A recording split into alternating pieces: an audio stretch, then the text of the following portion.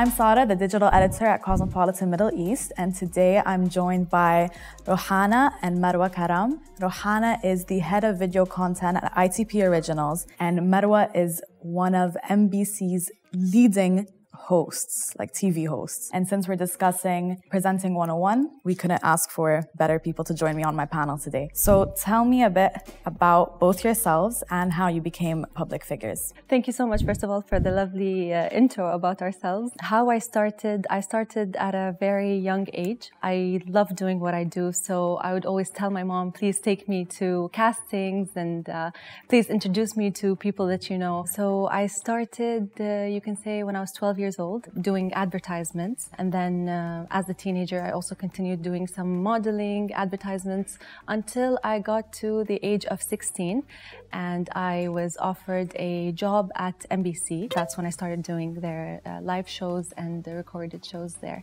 And I also have done uh, a TV series in uh, Ramadan, last Ramadan that was aired also on MBC. Rouhana, what about yourself? Well, I always liked being in front of the camera or in front of a stage since I was very young. I remember the first play I did, I was around um, five years old. I was playing the role of the son. I think it came naturally to me growing in the media industry, studying film at university, going to events, film festivals around the world. Um, I was really exposed to a huge network of people. So it naturally came to me. And then with time, working with ITP Media Group behind the camera, I also had an opportunity to be in front of the camera. So, with media and publishing moving ever more digital, being comfortable in front of a camera is something that you sort of have to get used to. It's a crucial part of your role. Why do you think readers and consumers engage more with video content? And why is it so important to brands? Well, if we're talking about influencers in general, brands' collaborations with influencers, usually videos, we were talking about this earlier, mm. they perform better than pictures and posts. Nowadays, we live in an age where Generation Alpha, which is the youngest generation, knows how to create captivating viral video content. So this is the place, this is the time where video content is taken over. Also, video content are very controlled. So when you're reading an article, you just read an article. It is interesting. It does make you feel things. But a video is designed in a way to make you feel things.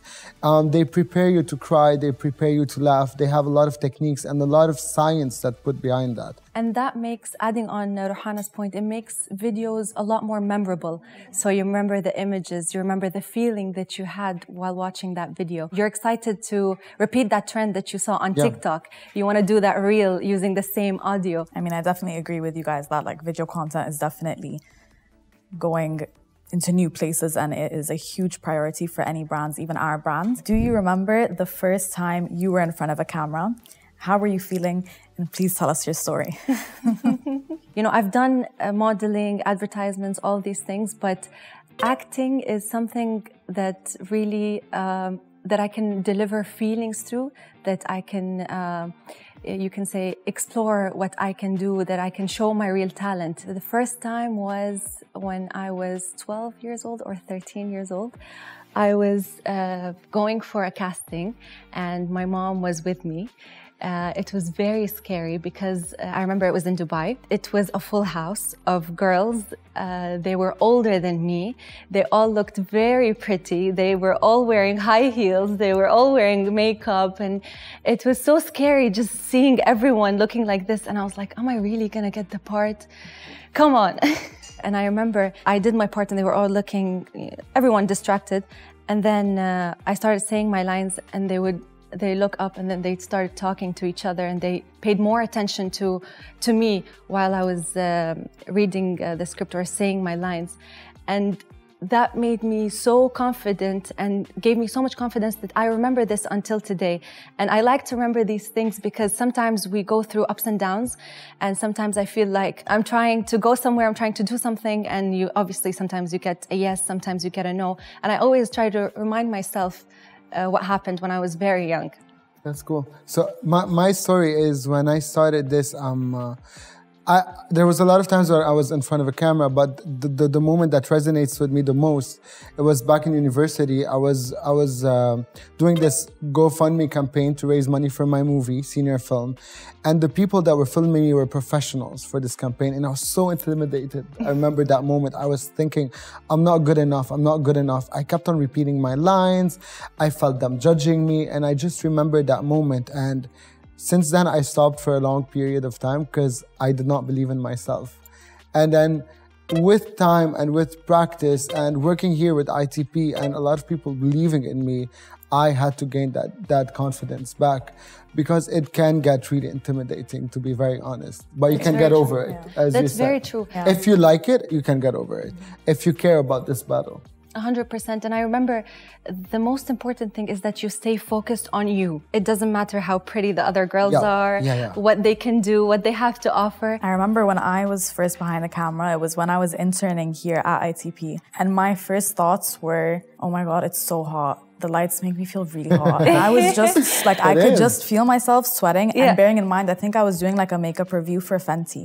I was more excited at the fact that I was looking at Fenty products rather than being behind a camera. And I think once you sort of put yourself out there, especially in social media, they, like if your profile is public, Mm. you almost just really stop if you can you tend to stop caring yeah, about what sure. people think Definitely. so then when you are filming behind a camera and later on you'll see yourself mm. you can you'll think oh, why does my voice sound like that yeah 100%. like what what is wrong with my like what's wrong with the angle of my face mm. but then after five minutes you're like yeah no i don't i don't really care yeah okay so for our budding presenters what three skills does someone have to have in order to be a good presenter knowing how to grab people's attention, always staying focused. Like I said, focus is very important and you can easily get distracted. You see the competition, you see people everywhere. Uh, so it's very important to stay focused. You know what you want. This is both while you're doing the job and while you're planning your career.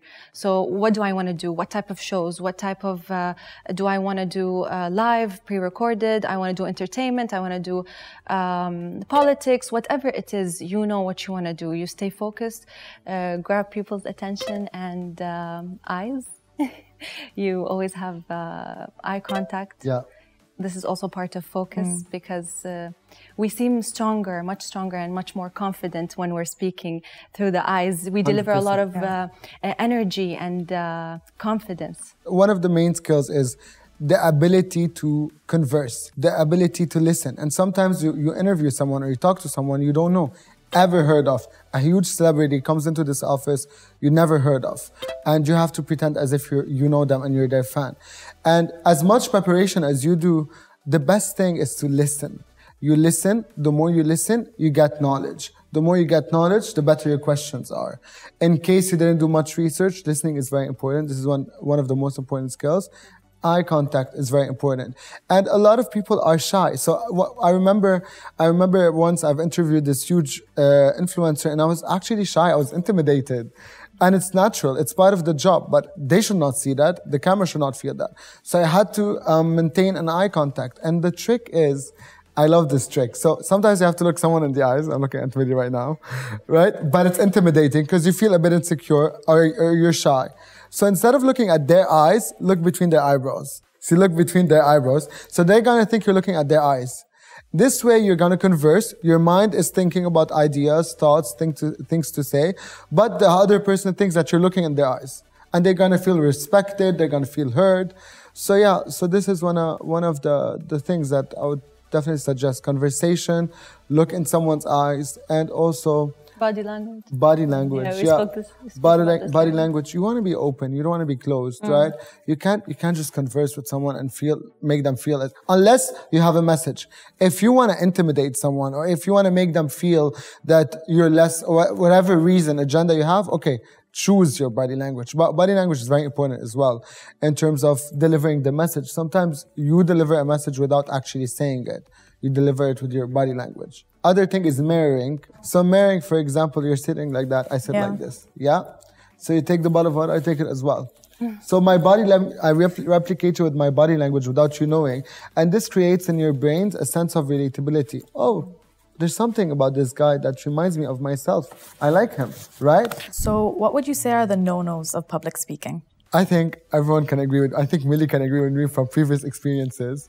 Don't have a, say it, monotonous monotonous tone we talked about this people with monotonous tones like when someone is talking publicly and then they go like hi my name is Rouhana and mm. i want to talk today about no raise your voice mm. there's a public listening to you and you don't want to bore them mm. so yeah be loud articulate your words people need to hear you. Uh, you need to show that there is energy, mm. there is excitement. Storytelling. Exactly, there's feelings to deliver. There's a great saleswoman uh, once gave me an advice. She's like, sometimes it doesn't matter what you're saying. What matters is how you're making the other person feel. Mm. So right now I could be selling you this bottle of water, but how I made you feel about it, mm. it's what you're gonna remember. You're not gonna remember the context. You don't remember everything.